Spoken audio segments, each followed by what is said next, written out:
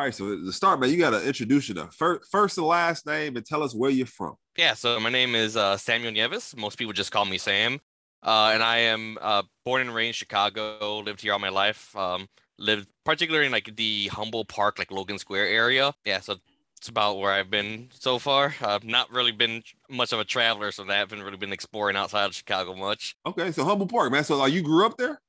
Yeah, I, I grew up here. I lived here like my whole life. Like I, I literally went from living on one part of the street that I, I currently live on to like a different part of that street. Like I moved once and I could live on the same street technically uh, oh. in like the same exact area. oh man, all right, cool beans. so then, like, man, what's your experience growing up in Chicago, man? You Humboldt Parks uh, never really moved outside the neighborhood. So, like, what what was it like there growing up for you? Yeah, so uh, not really too much to write home about, honestly. Uh, g- generally, like, I, I definitely see like um a lot more of improvements nowadays compared to how it was before. Cause like literally, like I, I could walk outside and like stroll like maybe a block and I see like maybe like six or seven closed businesses. So like it definitely like that type of neighborhood where like you just see like constantly like a bunch of businesses closing, opening, closing, opening, that sort of thing. Yeah. But yeah, now lately there's been a lot more like remodeling done with like the the overall like city, the park, just like the buildings popping up everywhere. Um, it's just definitely been getting better than it was before. Cause I remember there was times where like I would be woken up by like the sound of like sirens going on outside my house because like something happened uh, and that would happen like maybe once or twice a week. So definitely not at that point anymore, thankfully. yeah, man, that's what's up. That's what's up. So, man, growing up there, you think about like you know life before rework, man. You know, I I know you you did a couple of the programs and you can talk about those, that but like what uh what kind of work did you do so like you well, so first of all so you said born and raised Humboldt Park you went to high school there. I'm assuming you went to high school in the neighborhood, CPS. Yeah, so I was I was part of CPS network, but I actually went to uh, Lincoln Park High School. So it was not like my, my neighborhood school. My neighborhood school would actually have been uh, Clemente. But yeah, so I, I got in uh, to Lincoln Park High School. Uh, did my whole time there was in like the like orchestra there. So like that, that was like my main reason wanting to go there because like I was I'm like big into music. Could I play violin? Uh, I play like drums, percussion, that sort of thing. So I wanted to be part of that and Lincoln Park has like one of the best like music uh programs of the CPS school, so that's what I was all about. But yeah, like out, outside of like high school and whatnot, like I went to college briefly. Um, ended up dropping out after like two two and a half years. Um, and just started working full time at a restaurant that, uh, that I spent like five and a half years working at. Wow. Yeah, so I worked as like a waiter, server, like busboy. Basically, I did everything that was like the front of house. And at some point, I actually um was getting training as a, a sushi chef apprentice as well. So I was I was like one of the people like working in the back actually preparing sushi while also still doing some of the front of house stuff too at some point because like when I first joined the the restaurant like there was like three or four different servers besides me. Um, we were just kind of like alternate days. Uh, by time I had left uh the the restaurant, I was the only waiter still there. Um, so I was basically covering for like the whole restaurant at that point. Uh, so man, so back up. So you said you went to college for so you was get go to high school playing music and you go to college for two years. What did you go to college for? Yeah, so that's the weird part. I actually went to college for computer science initially. So I, I started off as computer science for my first uh, two years.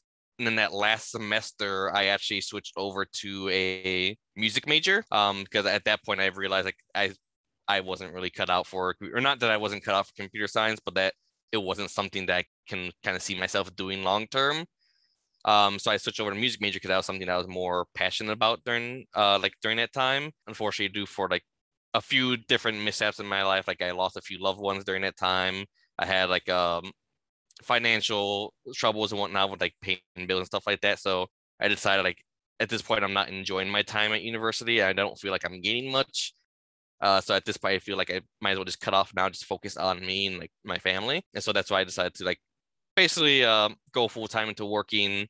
Uh, but full time ended up being way too full time because I ended up working like 12 hour, 13 hour days, six days a week. That's crazy. crazy. And so then you do the restaurant for you said five years almost. Yeah, fi- like my five and a half years. So I worked like three years as a waiter server, and then two and a half years as a sushi chef. Yeah, and then what happened? from there, uh, so that was literally like right around the time of like the whole shutdown happening. Um, so literally like the the two three months prior to shutdown happening, Um, I had a friend who was in the Year Up program before, and I was just kind of like venting to him because he was just like a mutual friend I had met in college, and he had told me about the Year Up program because he had went through himself, uh, and I was like, sure, you know what? Let me give this a shot. What else am I kind of doing basically? And so I signed up for the Year Up program, and I got accepted in, and was scheduled to start like in February, the month right before shutdown. Shutdown, and so shutdown happens and because of that like i'm basically furloughed because like the restaurant was going to be closed down for a while. So which actually ended up being a blessing in disguise kind of because like i was planning on working like friday saturday sunday while also going to Year Up and taking college classes uh, so that kind of freed up my plate a little bit to have a little bit more time to actually focus on the, those uh, schoolwork. And so from there, I went through like six months of like learning development where I took like college courses at uh, Harold Washington and ended up getting like a banking certification. And then from there, uh, Year Up matched me to um, an internship at LinkedIn. So I had an intern at LinkedIn for about six months. So the internship happened. How did the internship go? You, you work at LinkedIn now, or how, what, what happened after that? Yeah. So um, unfortunately, I didn't get converted into the role because like I, I happened to join LinkedIn right at a time where like they had literally like laid off like a whole department. Um, so there wasn't like a whole lot of room for like new hires at that moment, at least uh, in sales, because that's what, what I was interning as. But overall, like the experience, like working there, like interning there, like was super, super helpful. Uh, picked up a lot of skills that I wouldn't have had otherwise. Like um, I had to do like a lot of Excel stuff. Uh, but um, it just so happened like every two weeks or so, we would still meet with the Year Up on like Wednesdays and that's actually how I heard about rework. You had actually came in yourself to talk to um Year Up about like rework and like what you were doing and how the whole process kind of looked like. And like about late December, so I received a message from uh, Yesenia asking like, "Hey, um, are you interested at all in being part of rework? Because I seen that you're part of Year Up." And I thought to myself like when I got that email, I was like, I don't know if I want to do this as well because I'm already doing Year Up. I already have this internship. There's going to be kind of a lot on my plate but then I kind of sat myself down and told myself like, hey, what else are you doing? Like just like what else am I gonna be doing here? So like I might as well have like a uh like backup plan, so to speak.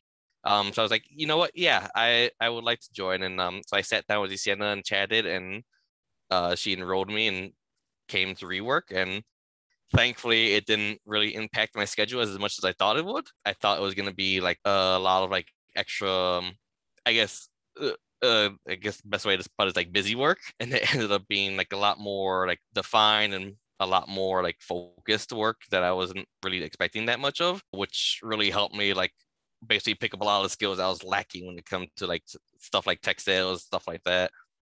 Yeah. What was the biggest adjustment that you had to make coming through a rework? Like what, what, if anything? And then like, what's the, what's your biggest takeaway from rework?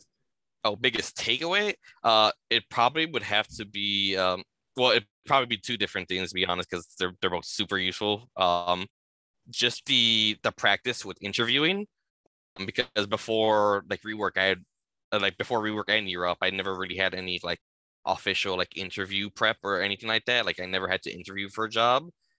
Like the the waiter position I had when I was at a restaurant was um, I just happened to I was offered a job simply because I knew the the owner's daughter, and so I, I never had to interview for anything before. So getting all that extra prep actually chatting with industry professionals on like how like they would actually uh, grade me in an interview and like seeing like what their feedback was, that was tremendously helpful.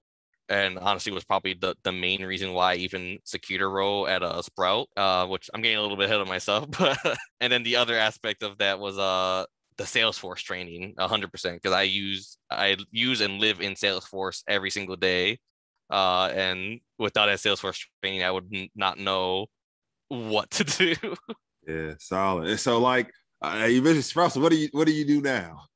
So, uh, I'm working at Sprout now. So, I am a sales development representative. So, I'm uh, I'm the one that handles, uh, or not one, but I work on a team that handles uh, a lot of the inbound funnel. So anytime uh, someone requests a demo on our site or someone like sends an inquiry to us, that sort of thing, well, I'm usually one of the people that would be responding. Uh, which actually shifted a little bit because I actually joined um, a team that were kind of like trialing or piloting, I should say. Um, so now something new that's been done at uh, Sprout is uh, we have a team of SDRs dedicated to handling uh, tr- trials.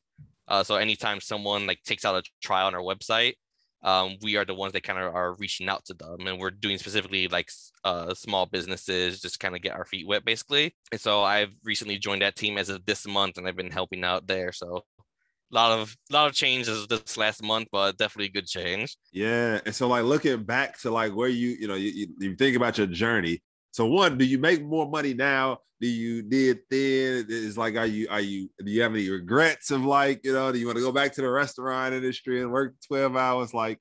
Oh my god, no! I, I think I, I did like some napkin math on it, and uh, like you, you know like with restaurant work, a lot of that uh the pay behind that is like tip based. Um, so like I kind of averaged it out, and like currently I make like four to five times more per year than I did before, plus like insurance benefits and all that. So like I am more than happy where I am. Yeah, if you could think about like you know the guy that went to Year Up, the guy that you know went to college, if you could like if you could, you know, uh, maybe somebody that, is working at 12, 14 hours, maybe somebody got furloughed, if you could send them a message what, what would you what would you tell that person? And then at the end of it, uh, you know, we got this this this, this, this taglines, get this work. So uh if you could end it with get this work. So like whatever the message is, like you gotta end with get this work. Yeah, well, uh, for, first I'll probably start the message off like um like asking them about like what what's their like current job situation and whatnot, but like the overall like big picture is just gonna be like try it. What's the worst that can happen? Like chances are like the person I'm chatting with, they're they're either like they hate their job, they're jobless, they're furloughed, whatever it may be. So like what else are they doing at the moment? Like what else can they be doing to like improve themselves? Like if they really have to kind of be thinking about it, like there's no thought to think about really is like just go for it. Uh like get that work. Uh, Nice, nice, nice, nice, nice. Cool, babe. Now you, you say get this work for the camera. That way I make sure. yeah, they got to get this work. All right, beautiful, man. Solid, man. Appreciate it.